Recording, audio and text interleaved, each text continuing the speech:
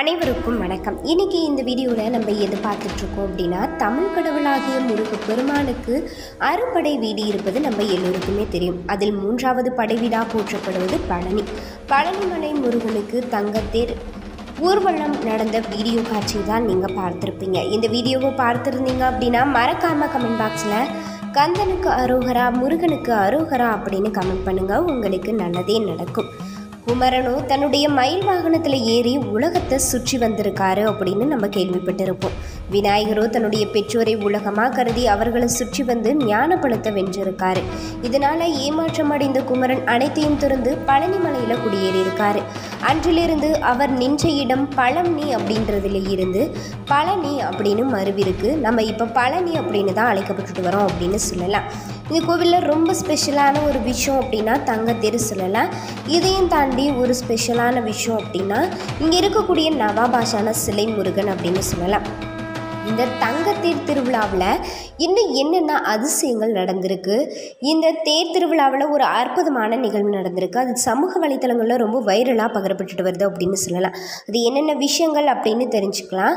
Video ரொம்பவே சுவாரஸ்யமான வகையில் தான் இருக்கும். ஸோ வீடியோவை ஸ்கிப் பண்ணாமல் பாருங்கள் நீங்கள் இப்போ தான் ஃபஸ்ட் டைம் நம்மளுடைய டென் மினிட்ஸ் டாக் சேனலை பார்க்குறதா இருந்தால் மறக்காமல் நம்மளுடைய சேனலை சப்ஸ்கிரைப் பண்ணிடுங்க. கூடவே இருக்க பெல் ஐக்கானையும் மறக்காமல் ப்ரெஸ் பண்ணிடுங்க. அப்போ தான் நம்ம போடுற வீடியோ நோட்டிஃபிகேஷனாக உங்களை வந்து சேரும். வாங்க ஃப்ரெண்ட்ஸ் வீடியோக்குள்ளே போகலாம். அருள்மிகு தண்டாயுதபாணி சுவாமி திருக்கோவில் முருகனுடைய அறுப்படை வீடுகளில் மூன்றாவது படை வீடு அப்படின்னு சொல்லலாம்.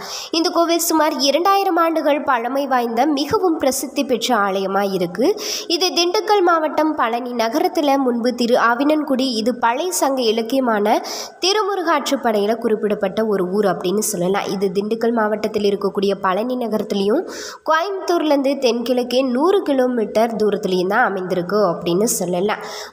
பழனி முருகப்பெருமான் ஆண்டி குளத்தில் தண்டாயுதபாணியா பக்த கோடிகளுக்கு அருள் பாடிக்கிறாரு.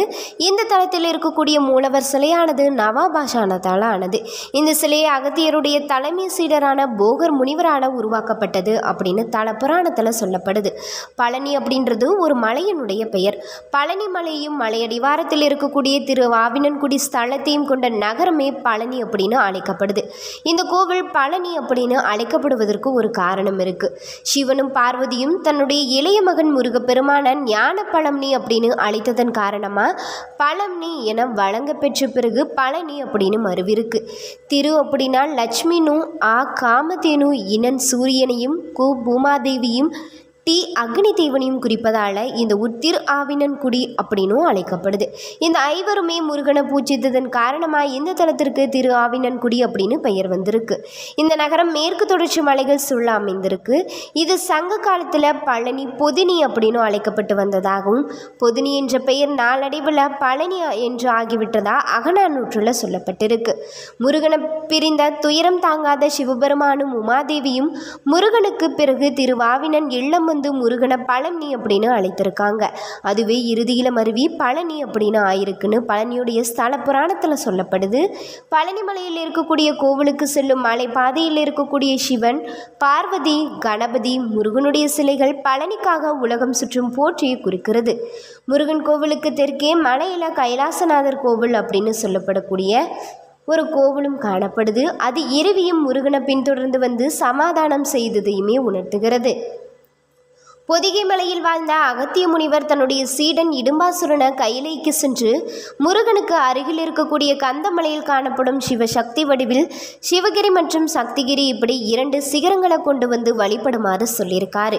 இடும்பாசுரன் பெரும் பக்தராக இருந்ததால அகஸ்தியருடைய உத்தரவின் பேரில் அவர் தன்னுடைய மனைவி இடும்பியுடன் கையிலைக்கு வந்து ஒரு பெரிய பிரம்ம தண்டத்தில் இருபுறமும் சிவகிரியும் சக்திகிரியும் தோளில் சுமந்து வந்திருக்காரு.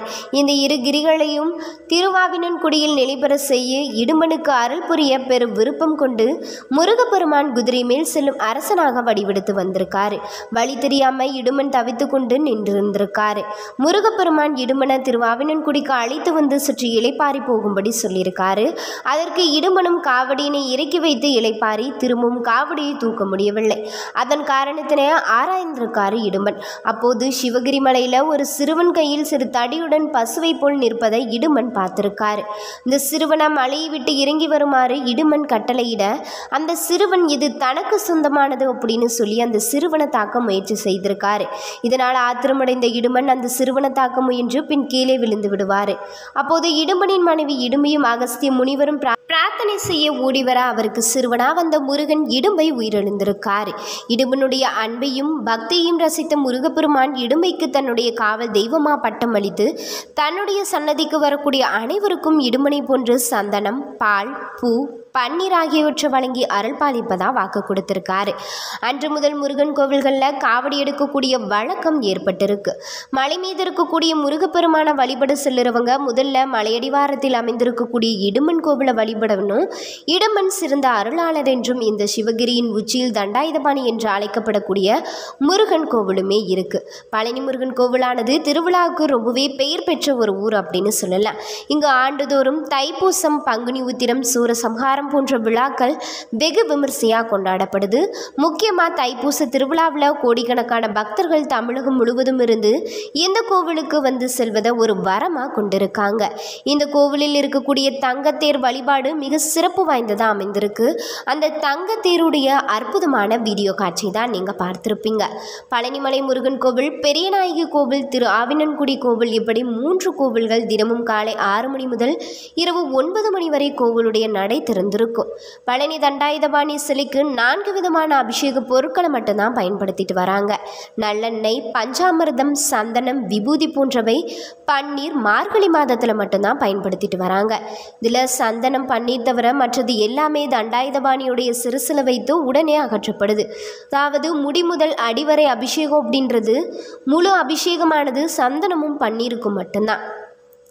இதில் சிறுசு விபூதியானது சித்தருடைய உத்தரவினால் பக்தர்களுக்கு வழங்கப்படக்கூடிய ஒரு பிரசாதமாகவும் அது இங்கு கிடைப்பது மிகவும் புண்ணியம் அப்படின்றது பக்தர்களுடைய நம்பிக்கையாக இருக்குது பழனிமலை முருகனுக்கு நாள் ஒன்றிற்கு ஆறு முறை அபிஷேகம் மற்றும் அலங்காரம் செய்யப்படுறாங்க. இந்த அபிஷேகம் அலங்காரம் ஐந்து முதல் ஏழு நிமிடத்திற்குள் முடிக்கப்படுது. இந்த அபிஷேகம் முடிந்து அலங்காரம் செய்த பிறகு அடுத்த அபிஷேகம் செய்யும் வரை முருகனுக்கு மாலை சாற்றுவதோ பூக்களால் அர்ச்சனை செய்வதோ கிடையாது. இரவு நேரங்களில் முருகனுடைய மார்பில் மட்டும் வட்ட வடிவத்தில் சந்தன காப்பு சார்த்தப்படுது முருகனுடைய விக்கிரகத்தின் புருவங்களுக்கு இடையில் ஒரு பொட்டு அளவுக்கு சந்தனம் வைக்கப்படுவாங்க. முற்காலத்தில் சந்தன காப்பை முருகனுடைய முகத்திலும் சார்த்தி கொண்டு இருந்திருக்காங்க பின்னாட்களில் இந்த முறை மாற்றப்பட்டதாகவும் சொல்லப்படுது. தண்டாயுதபாணியவுடைய விக்கிரகம் ரொம்ப சூடாக இருக்கும் அதனால் இரவு முழுவதும் அந்த விக்கிரகத்திலிருந்து நீர் வெளிப்படுவதாகவும் இந்த நீரை அபிஷேக தீர்த்தத்தோடு கலந்து காலை அபிஷேகம் நடக்கும்போது அங்கே இருக்கக்கூடிய பக்தர்களுக்கு பிரசாதமாகவும் வழங்கப்படுது. தண்டாயுதபாணியின் நெற்றியில் ருத்ராட்சம் கண் மூக்கு வாய் தோள்கள் கை விரல்கள் போன்றவை ரொம்ப அற்புதமாக ஒளியால் செதுக்கப்பட்டது போல மிக தெளிவாக இருக்கும். இது போகருடைய கைவண்ணம் அப்படின்னு போற்றப்படுது. தண்டாயுதபாணியுடைய சிலையை சுற்றி எப்போதுமே ஒரு விதமான சுகந்த மனம் பரவி நிற்கும். தண்டாயுதபாணி முருகனுடைய சிலையை செய்வதற்கு போகர் எடுத்துக்கொண்ட நாட்கள் சுமார் ஒன்பது வருடம் அப்படின்னு சொல்லப்பட்டிருக்கு. முருகர் அம்பாள் அகத்தியர் இவங்களுடைய உத்தரவுக்கு பிறகுதான் போகர் இப்படி ஒரு சக்தி வாய்ந்த சிலையை செய்ய முயற்சி எடுத்திருக்காரு. இதற்காக சுமார் நான்காயிரத்திற்கும் மேற்பட்ட மூலிகைகளை பல்வேறு இடங்கள்லையும் சென்று கொண்டு வந்திருக்காரு. இதில் எண்பத்தி ஒரு சித்தர்கள் இந்த நவாபாஷானத்தை போகர் சொன்னபடி தயார் செய்திருக்காங்க. இது ஒரு பொதுநல எண்ணத்தோடு செய்யப்பட்டதால காலமும் இயற்கையும் தன்னுடைய சீற்றத்தை குறைத்து சித்தர்களுக்கு உதவி செய்ததா இன்னொரு முக்கிய தகவலுமே சொல்லப்படுது. அகத்தியருடைய உத்தரவினால ஒரு அசுரன் இரு மலையின காவடி போல சுமந்து பொதிகை மலை நோக்கி கொண்டு செல்ல முருகன் அவனை தடுத்து நிறுத்தி போரில் தோற்கடித்து இரண்டு குன்றையும் இப்போது இருக்கக்கூடிய இடத்துல வைக்க செய்திருக்காரு அப்படின்னு சங்ககால புராண தகவலில் சொல்லப்படுது. போகர் ஈகர பரதத்தில் இருக்கும்போது தன்னுடைய மனைவிக்காக கொடுத்த வாக்கை நிறைவேற்ற முருகனுடைய சிலையை மேற்கு திசை நோக்கி பிரதிஷ்டை செய்திருக்காரு. இதன் காரணமாக மலைநாட்டில் இருக்கக்கூடியவர்களுக்கும் பழனி முருகன் குல தெய்வமாக இருக்காரு. கற்சிலைகளாலான பல கோவில்கள் சிதலமடைந்து வரக்கூடிய இந்த நிலையில் இந்த கோவில் மேலும் மேலும் வளர்ந்து வருவதற்கு சித்தர்களுடைய மகிமைதான் காரணம் அப்படின்னும் போற்றப்படுது. தண்டாயுதபாணியுடைய சிலைக்கு இடதுபுறம் சிறிய மரகதலிங்கம் இருக்கு. அவரை சந்திக்க வலதுபுறம் சென்று தீபாராதனை காட்ட வேண்டும். ஏனெனில் விளக்கு இல்லாமல் அந்த சிவலிங்கத்தை பார்க்க முடியாது.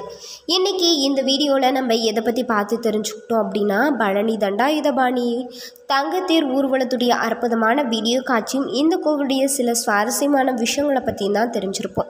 இந்த தகவலானது உங்களுக்கு ரொம்பவே பயனுள்ள வகையில் தான் இருந்திருக்குன்னு நம்புகிறேன் வீடியோ உங்களுக்கு பிடிச்சிருந்தா லைக் பண்ணுங்கள் ஷேர் பண்ணுங்கள் கமெண்ட் பண்ணுங்கள் நீங்கள் என்ன நம்மளுடைய டென் மினிட்ஸ் நாக் சேனலை சப்ஸ்கிரைப் பண்ணாமல் இருந்தீங்கன்னா சப்ஸ்கிரைப் பண்ணிவிடுங்க கூடவே இருக்க பெல் ஐக்கானையும் மறக்காமல் ப்ரெஸ் பண்ணிவிடுங்க நீங்கள் இந்த வீடியோ பற்றி என்ன நினைக்கிறீங்கன்னு சொல்லிட்டு உங்களுடைய கருத்துக்களை கமெண்ட் பாக்ஸில் சொல்லுங்கள் நன்றி நண்பர்களே